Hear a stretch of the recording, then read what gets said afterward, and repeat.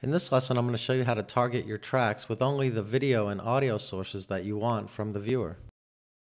As you are editing, you'll find that you'll need to put video and audio along with text and graphics on different tracks so that you don't overwrite other media. Using the targets allows you to disregard sources that you don't want in the viewer to be laid down in the timeline. To give you an example of this, let's open up our media folder and double click one of our clips. It loads up into the viewer and as you can see, it contains one video track and two audio tracks. So whatever is loaded in the viewer corresponds directly to which targets will show up in your sequence. So to show you how the targets change, I'm going to open up the music folder and double click one of the music files which contain two tracks of audio. You'll notice in the timeline with the targets that there are only two targets, A1 and A2. You don't get a V1 video target because the music that's loaded in the viewer doesn't contain a video track. Now I'm going to go ahead and open up a picture file.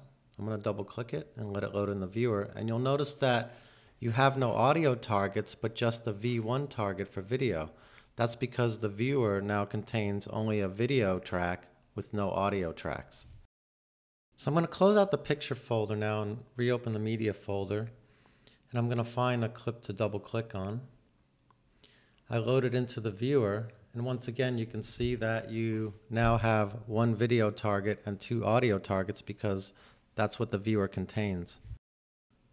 I'm going to go ahead and pick an in point on this clip and then I'm going to choose an in and out point on the timeline by moving my playhead to the point I want the clip to start and marking an in on the canvas side and putting my playhead in the timeline where I want it to go out and marking an out on the canvas side.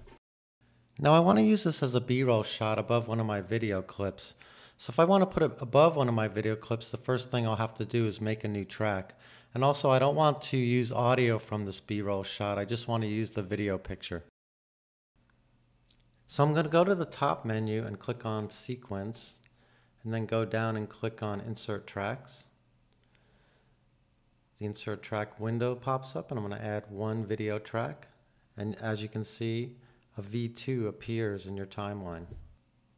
Now because I don't want audio on this shot, I'm going to go ahead and click the A1 and A2 targets so that they separate. Notice the gap between the targets when you click them. Now I also want the video to go to V2 instead of V1. So I'm going to go ahead and move the V1 target up to the V2 track in the sequence. Now I'm going to go ahead and click the red overwrite button in the canvas. And as you can see, it lays the video track on V2 in the timeline without the audio. So when your playhead in the timeline goes across the V2 track, you won't see the V1 video track. Because in Final Cut Pro, the top layer is the dominant layer. So whatever's on the topmost track is the thing you're going to see before seeing below to the other tracks. The reason why we do this is because it's easier to manipulate and drag around where you want it without overriding other media. Now I'm going to do the same thing with an image file. I'm going to mark an in on my timeline by moving the playhead to where I want to start and marking the mark in button in the canvas and moving my playhead where I want it to stop and marking the out button on the canvas. Then I'm going to open up my PIX file and I'm going to double click on an image file So as I do this, you'll notice when it loads into the viewer that I only have one V1 video target because this picture contains no audio. Now just to show you a little more how the targets work, I'm going to go ahead and disconnect the V1 video target for this picture that's loaded in the viewer by clicking it. And you can see that a gap appears between the target and the track in the sequence.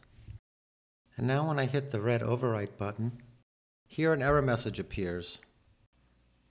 It says, edit operation had no effects. Check the target tracks. You may need to open the source clip into the viewer in order to see all of the target tracks.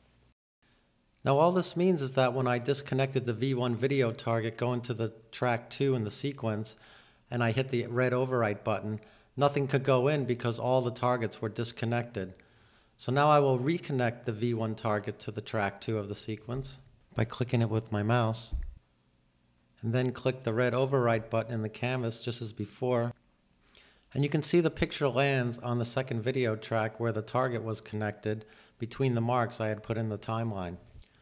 Now I'm going to go ahead and open my music folder and double click a piece of music.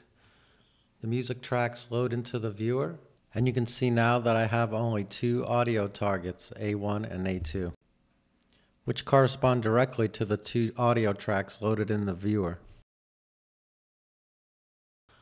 I'm going to go ahead and mark the in and out on my timeline of where I want this music to go. So I'm going to move my playhead to the beginning of the timeline and mark an in on the canvas side. And I'm going to move my playhead to the end of the timeline and go one frame back so that I don't add a frame and mark an out on the canvas side. Then I'm going to move my audio targets down, A2 to A4 and A1 to A3, and also connect them by clicking them and you will see that the gap will disappear between the targets. Then I go ahead and hit my red overwrite button and as you can see it lays the music track on tracks 3 and 4 of the timeline exactly where I targeted the tracks and between the in and out marks that I had made in the sequence earlier.